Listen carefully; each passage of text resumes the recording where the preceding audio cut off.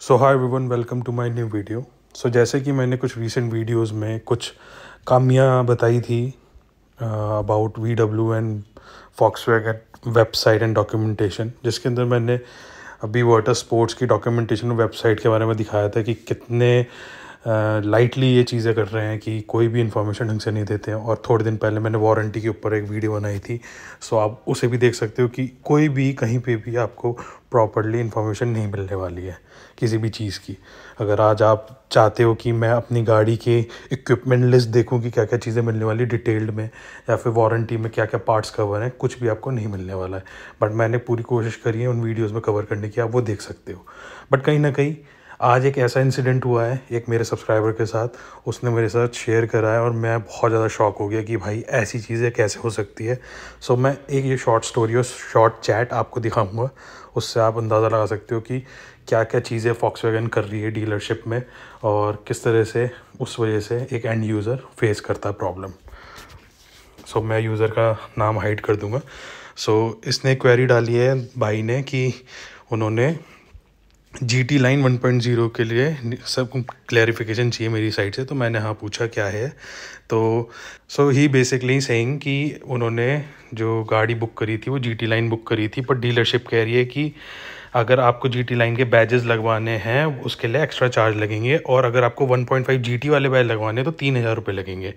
सो so, उसने मेरा opinion मांगा इस चीज़ के लिए। तो मैंने कहा भाई हंड्रेड परसेंट फ्री आते हैं एक सौ एक परसेंट फ्री आते हैं जी टी लाइन के लिए बैजेस वो गाड़ी का इक्विपमेंट लिस्ट का पार्ट है। मतलब जीटी लाइन के अंदर वो ट्रिम ही डाला गया है और वो बैजे अगर आपको एक्स्ट्रा कॉस्ट में लगवाने पड़े तो क्या सेंस बनता है? आप पूरी चैट देख सकते हो इसकी, ठीक है ना?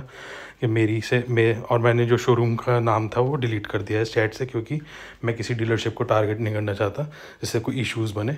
सो आप देख सकते हो पूरे चैट को और फिर मैं आपको समरी देता हूँ क्या बात हुई है, ठीक है?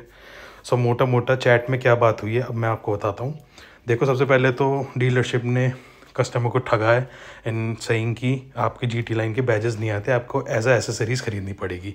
दूसरी बात जो करी है उन्होंने टेन के, दस हज़ार के अंदर इन्हें एसेसरीज किट दी है, जिसके अंदर एक जो सामान है, वो थर्ड पार्टी वेंडर से मंगवाया गया है और उल्टे सीधा सामान दिया गया है, कोई जेनविन सामान नहीं है।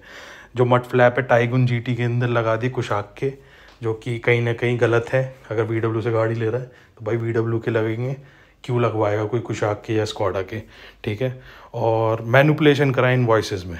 ये चीज़ें करी गई है डीलरशिप के थ्रू सो so, देखो भाई कहीं ना कहीं मतलब मोटा मोटा मैं जो समझ पा रहा हूँ और जो समझाना चाह रहा हूँ वो ये है कि एक लेस इन्फॉर्म डॉक्यूमेंटेशन और एक लेस इन्फॉर्म्ड चीज़ों की वजह से डीलरशिप भी कंफ्यूज रहता है कहीं ना कहीं और आपका यूज़र भी कंफ्यूज रहता है। बट डीलरशिप की यार मैं गलती मानूँगा इस चीज़ में। भाई वो गाड़ियाँ बेच रहे हैं। एटलीस्ट उनके तो चेक पॉइंट और चेक लिस्ट सही होनी चाहिए, क्योंकि कोई भी गाड़ी अगर बेचते हैं वो तो उनके पास सबसे पहले डॉक्यूमेंट्स आते हैं confidential documents from V W so ये कर ही नहीं सकते वो चीज़। नन द लेस मैं इस चीज़ को कहना चाहता हूँ कि भाई, जो भी ये वी डब्ल्यू कर रही है चीज़ें, और डीलरशिप कर रही है चीज़ें, बहुत गलत कर रही है। हर कोई कर रहा है ऑलमोस्ट कोई गाड़ी की बुकिंग तेज़ी से करा देता है मतलब गाड़ी जल्दी से प्रोवाइड करा देता है। अगर आप एसेसरीज लेते हो एक्स्ट्रा पर्क्स लेते हो ये सब डीलरशिप कर रही है बट मुझे स्कॉडा और वीडब्ल्यू से बिल्कुल उम्मीद नहीं थी इस चीज़ की। But if they did this this is not good so अगर कोई भी VW से देख रहा है तो भाई इस चीज़ पर ध्यान दो। गलत चीज़ मत करो। वैसे ही नाम ख़राब होता जा रहा है हमारा वी डब्ल्यू इन स्कॉडा का ठीक है ना? सो so, इसी तरह से काफ़ी लोग बहुत सारी प्रॉब्लम फेस कर चुके हैं। मेरा फेसबुक ग्रुप है V W in Skoda two point zero अगर आपने ज्वाइन नहीं करा तो उसे ज्वाइन कर लो।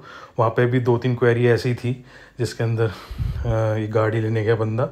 ब्लैक कलर की one point zero top line so they denied की फैक्ट्री में ही गाड़ी नहीं है। सो आप कार्बन स्टील ग्रे ले लो पुश कर रहे हैं उन्हें। मतलब उनके, उनकी क्वेरी को सुना ही नहीं जा रहा। और साउंड एडिशन गाड़ी कहीं अवेलेबल है, किसी डीलरशिप पे अवेलेबल ही नहीं है। कोई कह रहा है डिसकंटिन्यू है, कोई कह रहा है कंटिन्यूड है। वेबसाइट पे अवेलेबल है लिस्टेड है। मतलब इतनी कन्फ्यूज़न है कि भाई अगर साउंड एडिशन बंद कर दिए तो उसे बंद करो ना। वेबसाइट पे लिस्ट लिस्टिंग से हटाओ कोई भी नया यूज़र आएगा, वो वेबसाइट खोल के चेक करेगा। और वो चीज़ अवेलेबल है तो भाई वो उस चीज़ की डिमांड करेगा। इसी तरह से मेरे साथ भी हुआ था।